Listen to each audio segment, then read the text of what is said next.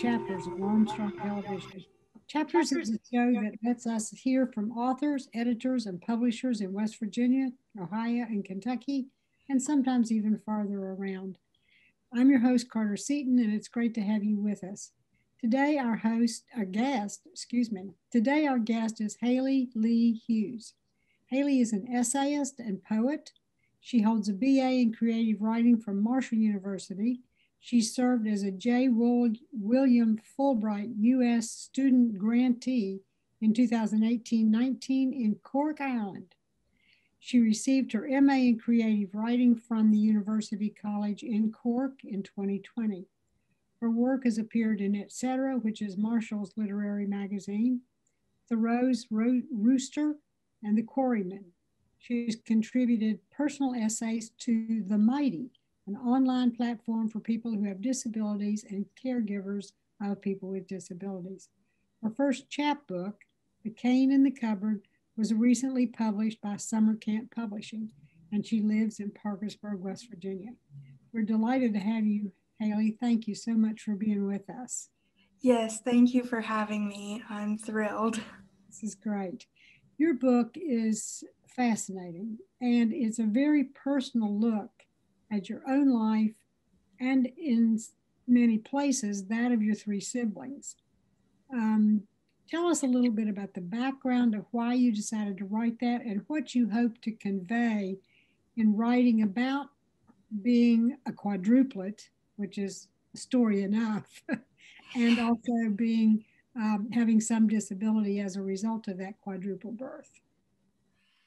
Um, I think I I set out to write this specifically because um, when often when we talk about multiple births, um, uh, it's it's in the framing of a TLC reality show, and it's not to me, it really doesn't capture the reality of the difficulties or the mundanities of daily life. And um, and for me personally, I, I realized in college when I started writing seriously that um, often I would write about themes of grief and um, disability and anger.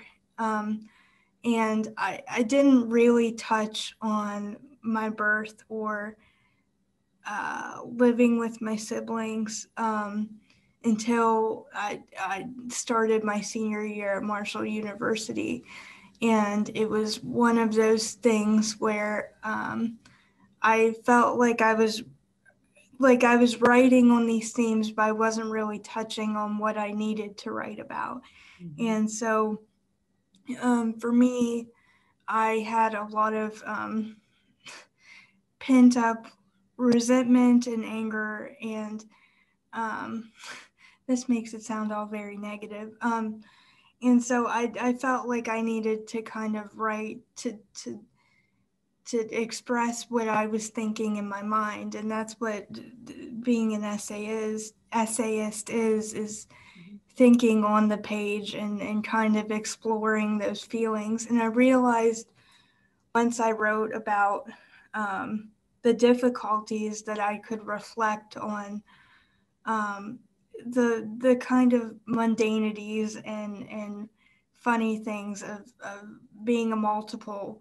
And I I didn't write about this in the book, but like, you know, uh, there are three um, girls in my family, and we would often share outfits and um, we would go to Girl Scout events and, and get the same t-shirts and sometimes my sister and I our, our bedrooms when we were teenagers were um, parallel to each other um, with a wall between them and we would step out of our rooms and I'd look at her and she'd look at me and I'd be like, go change. I don't want to wear the same shirt as you. And she'd be like, no, you go change.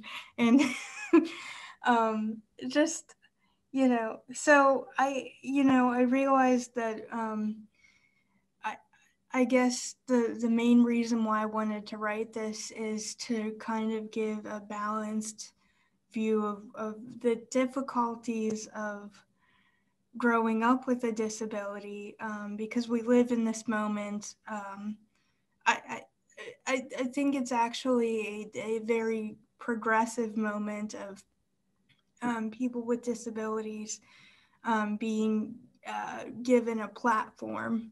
And, um, and so I kind of wanted to counter that narrative of like a person with a disability as an inspiration um, uh, with um, the lived reality of someone with a disability who has a unique experience but has positive and negative feelings about it. Um, I think that's one of the things that, that were was inspirational about the book is that there that you did also touch on the the positives, the blessings um, of your life, and I think that's a that is something that we rarely see when we talk about a story of someone with a disability. Um, did this feel cathartic once you'd written it? Um, yeah, I definitely it felt cathartic because there were there were um, things that I had spoken about um, just with my family that I'd never um, written about or spoken about publicly. And um, like I touch on some of the moments in which I was bullied in school. And I know um, a lot of people are bullied, but I think it's very different when you are bullied specifically for the body you inhabit. Um, and it caused a great deal of insecurity. And I remember um, talking to my mom, and, and I mean, this was years after, you know, when I was an adult, and saying, you know, I really wish I could have an apology. You know, that's all I wanted. And, and, you know, she was just, she just said, you know, I, you may or may not get it, but um, you kind of have to move forward from it regardless. And it, it felt good to write about it because I, I it, in a cliche way, it felt like I wasn't giving the bully or the bully's power anymore over over my life. Like I had been telling this story for years, and um, writing about it privately, but once I put it out there and, and named the person, um, it, it felt like I was kind of, by telling it in my way, of kind of reclaiming that experience, which uh, probably sounds a little cliche, but it was. No, very... it doesn't at all. I think that's um, that's that's the good antidote to it is that you know you you took over rather than letting them run your life. Yeah, and I there were moments when I was crafting the book and and I want to be clear that um, as writers we pick and choose what we write about and like this this is a snippet of my life this is a portrait of my life but it's not my whole life and um, I and I told many of my friends because I only uh, feature a few of them here, but I told many of my friends, I said, please don't be offended. You're not in the book, but you're very important to me. Um, but when I was choosing those very vulnerable moments to, to write about, um, there had been one incident um, in, in junior high that I'd written about numerous written about numerous times in my workshop classes and I thought about placing it in the book and I said, you know what, I've I've written about this enough times um, and I'm tired of choosing to let them shape my narrative. Um, and so I think that's important too um, when we talk about the construction of books and catharticism is, you know, sometimes there's power in what you don't write. Mm-hmm. Um, in in choosing not to let those people have a have a center stage presence, you know. Yeah. So in the first chapter you talked a little bit about how having some physical dif- disability um, made you become a writer in a sense. Do you think if you had been different, you would not have become a writer? Um, I mean that that's so hard to say because I am.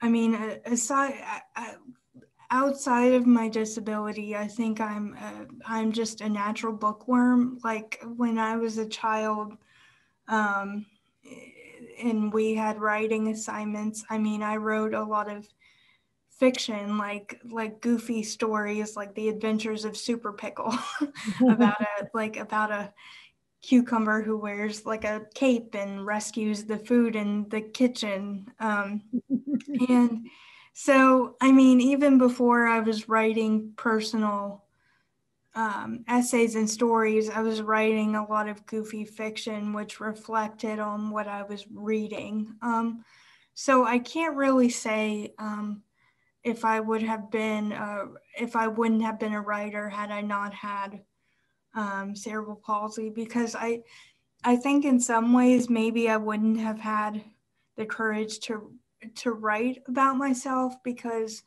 when I was in college, um, I had a professor, um, Dr. Rachel Peckham, who mm. I, I, yeah, she's wonderful. Hi, Rachel.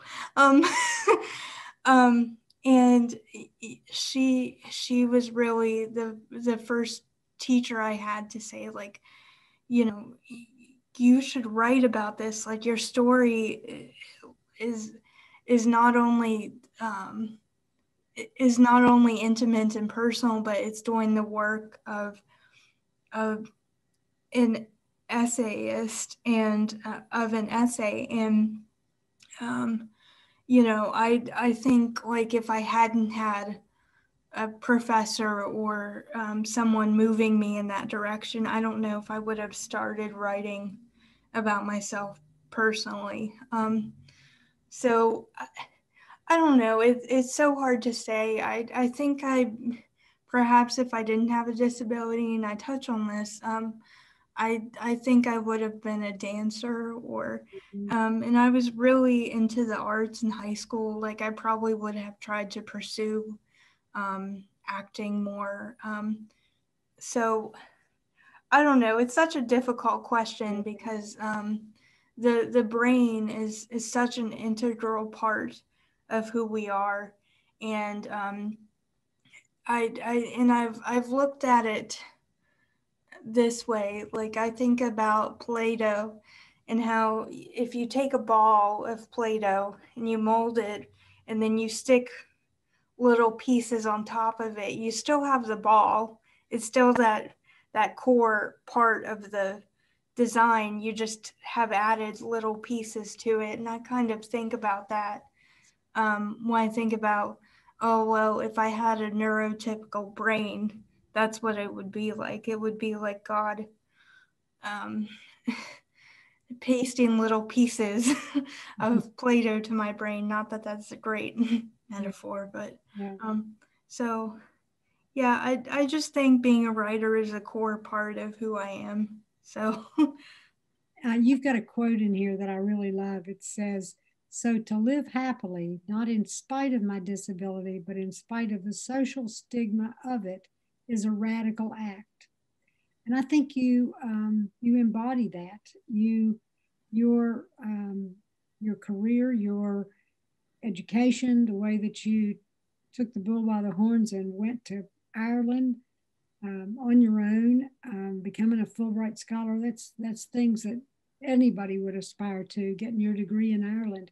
How did all that come about? Um, so I had never really envisioned myself um, traveling. um, I mean, I'd always wanted to visit other countries, but it was one of those ideas you have that is kind of in the in the ephemeral where it's like oh I, I could jump out of a plane one day mm-hmm. um, but i think um, as I got to my um, to the end of my undergraduate career, I knew I wanted to be a, a professor and a writer, and I was searching for ways to make that happen. and um, I I had the grades and I you know and I I published a little bit in my undergraduate um, um, career and I um, the scholarship advisor at Marshall had taught um, English in the English department. And um, I was directed toward her and she said you know you could apply for the Fulbright program. They um, you know, they don't just take people from Yale and Harvard because that was my main concern. It's like, oh, I go to this state school in Appalachia.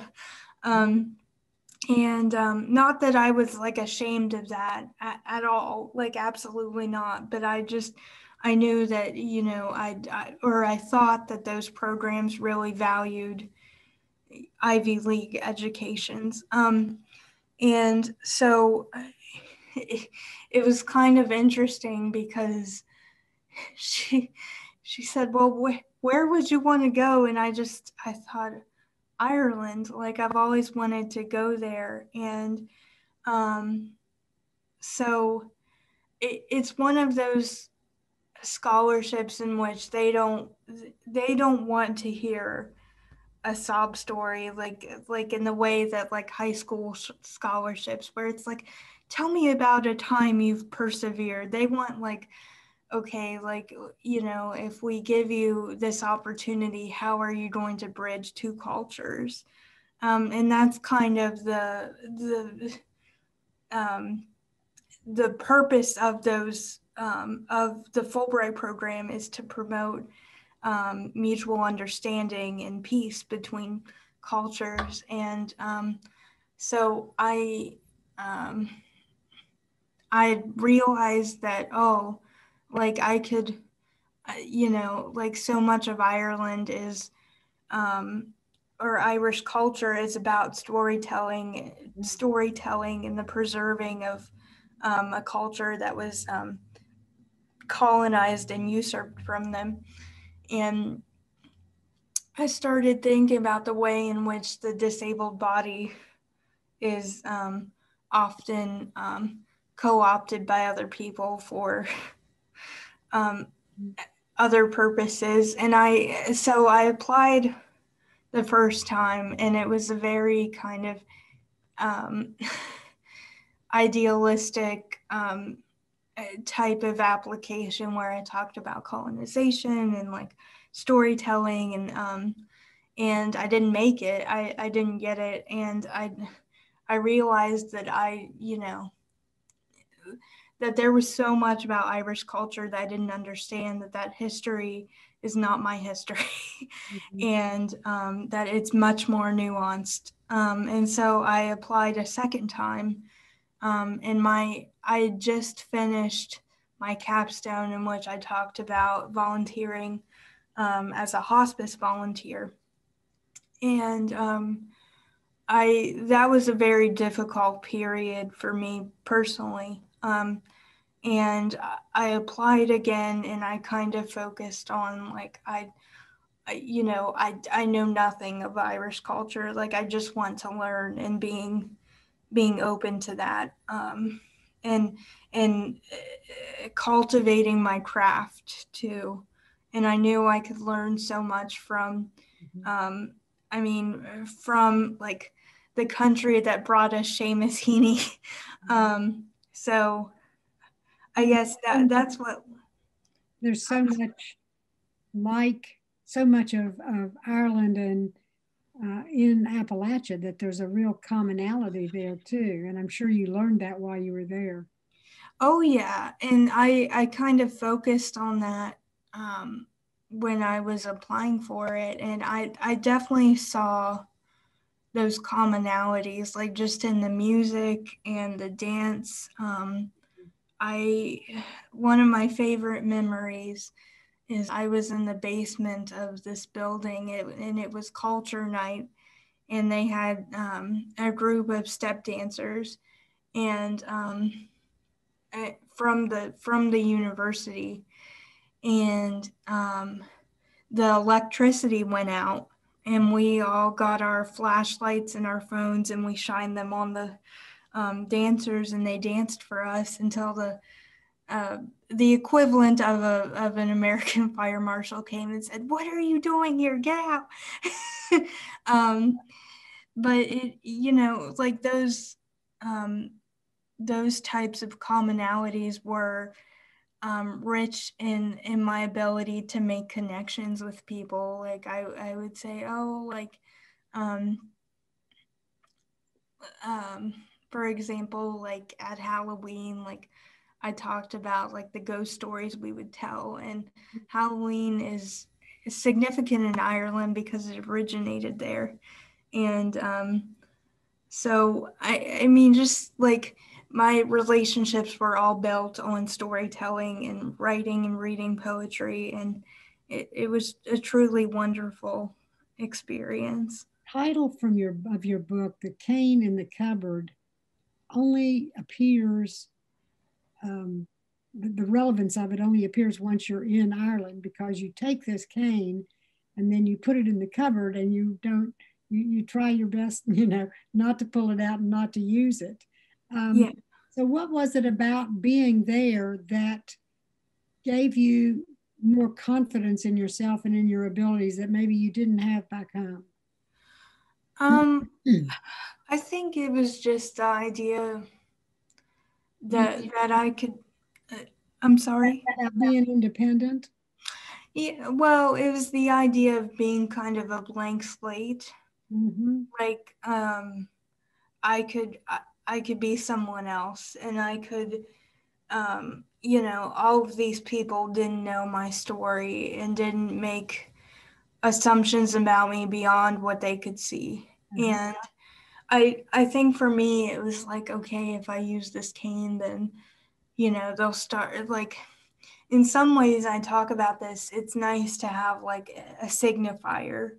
Then then you know like people do make assumptions about you, but they they say, oh, like she's like that because she has a cane or because she's in a wheelchair. Um, and in other ways, um, it was like, oh, but what if, what if it does the exact opposite, where it's like, you know, the assumptions are that I that I would just need to take the elevator instead of the stairs, and so I part of my um, part of my he- hesitancy and the ability to be more confident was just the idea that like well maybe I could control this myself and which ultimately is a very arrogant position um, because it, it it doesn't allow for people to help you mm-hmm. and there were times when I really needed help and I didn't feel comfortable enough to ask for help because I was afraid that meant that I was somehow not independent, that I was somehow weak. And and I think like the idea of going and living abroad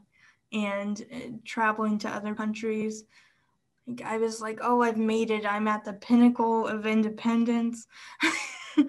and um but that wasn't necessarily true like i my friends were very helpful and even strangers um, and i think that's what allowed me to say well i don't really need this and even if i fall or if i do um, injure myself like there are people around who would who would come to my aid. I there's a really funny story um, and I didn't write about this in the book, but I have a very heightened startle reflex. Um, I I mean, if people drop a book on the floor or slam a door, I'm just, you know, I'll jump out of my skin. and I was walking down the sidewalk in Cork and um, headed to town to go grocery shopping. And this, and if you've ever been in Ireland or read about Ireland, it rains about 80% of the time. And um, and I was always um, cocky and saying, "Oh, I won't take my umbrella; it won't rain," and it did. But I so I thought I'll get I'll get to the grocery store and come back. And this lady um, past me and she opened her umbrella and the sound of the umbrella opening scared me so much that i fell into the grass. Oh, um, i just fell over. She said oh dear i gave you a fright. And i said yes you did but we laughed about it. Um, and um, and i think that that's one of the things i take joy in. Um, and i want to express like there is so much joy in in this life um is like just the the goofy things that my body will do that I can't control but cause other people to laugh. Yeah. um and that was that was one of them. And um, about your writing life. Did you um do you always is is it mostly essays and poetry? I know you're a poet. Which do you prefer? Um essays because yeah. I often I will write a, a, poem and I think, oh, well, this should be an essay. Mm-hmm. Um, and often um, um, I prefer writing poetry when I'm in a, a, a workshop environment, when I'm with other people, because um, so much of poetry, at least for me, is um, generated by other other writers um, um, input and work. Um, if i can if i can start a poem with uh, with an image a driving image or with tension um, then i then i feel comfortable um, continuing. And so much of that feedback comes from other people. Mm-hmm. Do you and, ever write fiction? Oh man, I. It's one of those. It's one. Of, I, I'm sorry. I said you want to go back to writing the story of the superhero pickle. um, when you when you pursue a degree in creative writing, um, you have to take um, workshops in the genre that you're not comfortable with and originally, when I was an undergraduate, I wasn't comfortable with poetry, but um, I took fiction classes and I really struggled with um, dialogue. Um, my dialogue was very stilted. Um, and I was 19, and so I was reading a lot of um, uh, young adult literature. So a lot of my fiction uh, featured like teenagers, mm-hmm. um, you know, in very dramatic situations. And my professor would just look at them like, uh, and um, not not that he wasn't encouraging, but like um, my fiction professor was the one who um, pushed me to read more widely. Um, and so as I read more widely, um, I felt more comfortable in crafting dialogue. I realized how to construct um, um, characters, and I think like the the weakness in my fiction um, is or was I haven't um, shamefully I haven't tried seriously writing fiction um, since I was an undergraduate, but um, maybe I'd feel more comfortable now. Um, so, what's your next project about? um, I would love, yeah, I would love to write a full length memoir and incorporate um, poetry as um, section dividers, if that makes sense. Um, because I had so much trouble with the structure of this book. Um, and that, and the, the thread in which um, to so that each essay would fall together because even though they're independent they're part of a book. Mm-hmm. and, and so i would i i'm not currently writing it but i would love to to write a full length memoir and and, and include some poems.